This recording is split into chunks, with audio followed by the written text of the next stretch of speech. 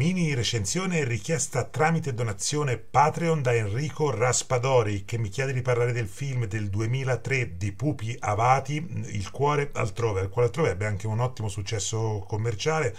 non mm, avesse incontrata a fare Angela, la ragazza cieca di cui si innamorerà Nello Balocchi, interpretato da Neri Marcoré. Mm, questa storia è ambientata negli anni 20, appunto questo Nello è un uomo sopra i 30 anni che lavora in questa sartoria che ha fatto abiti per tutti i papi del mondo, lavora lì con lo zio omosessuale e tutto il resto, non riesce a trovare una donna, il padre gli, gli trova un lavoro come insegnante e lo spedisce a Bologna a lavorare. E mentre praticamente è insieme a un compagno di stanza, così che lo conosce, lo porta praticamente a frequentare una ragazza di un istituto che è cieca, che è Vanessa Incostrada, del quale lui si innamora perdutamente, mentre lei sembrerebbe più che innamorarsi, perdersi, ecco, è tra i discorsi del nostro che non può vedere e tutto il resto, fino a lei che cerca di andarsi appunto a operare in Svizzera, lui che scoprirà altro fino al finale, insomma, con la citazione luce da città che si poteva benissimo tenere Pupi Avati perché questo film è una mediocrata, mi dispiace doverlo dire, perché se al di là del livello tecnico, come al solito Avati sa benissimo dove è che la macchina era prese, eh, sa benissimo eh, la fotografia è utilizzata benissimo, così come è buono il montaggio, le, le, la ricostruzione d'epoca, tutto funziona, ma non funziona la sceneggiatura dello stesso Pupi Piavati, che sembra aver perso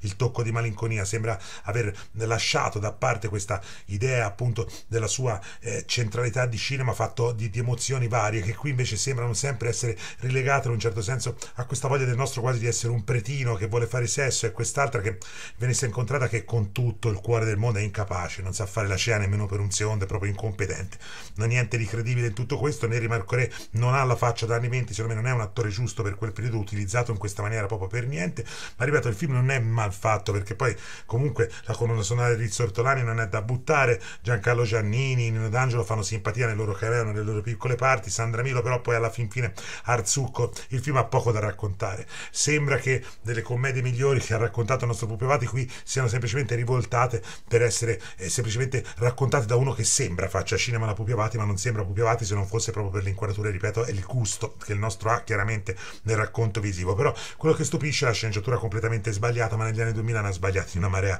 e Pupiavati e questo è uno di quei classici film molto soggettivi perché oggettivamente non è mal fatto, bisogna vedere se uno è preso o meno da questa storiella, per me è una storiella del cazzo, proprio non, non mi ha preso preso per niente, ripeto, poi ne rimarco Re non ha la faccia che fa affezione a questa, è troppo antipatica, veramente il personaggio non è scritto bene e inoltre è recitato col culo e quando si capisce che lei non è cieca, si capisce che sta recitando, è chiaro, la incontrata è stata presa esclusivamente perché era famosa per la televisione, perché non è un'attrice e non lo è mai stata e purtroppo abbassa di parecchio il livello del film che comunque, ripeto, è una sceneggiatura modesta, perché alcuni picchi sono più alti perché Pupiavati sa quello che scrive, ma a volte evidentemente anche se sa quello che scrive, quello che scrive non gli è venuto troppo bene, perché cosa vi posso dire? Per me è un film è totalmente a tratti inadeguato per il periodo, è proprio un film mo- che sembra nato morto, lento, moscio, noioso, che non porta da nessuna parte con un finale telefonato e ripeto, è anche oltretutto un po' ruffianello, quindi per me è questo il cuore altrove, ennesimo film degli anni 20, molto meglio il papà di Giovanna, che ha ambientato nello stesso periodo, e altri 6.000 film di Pupi Avati. Questo secondo me è un film di successo di Pupi Avati,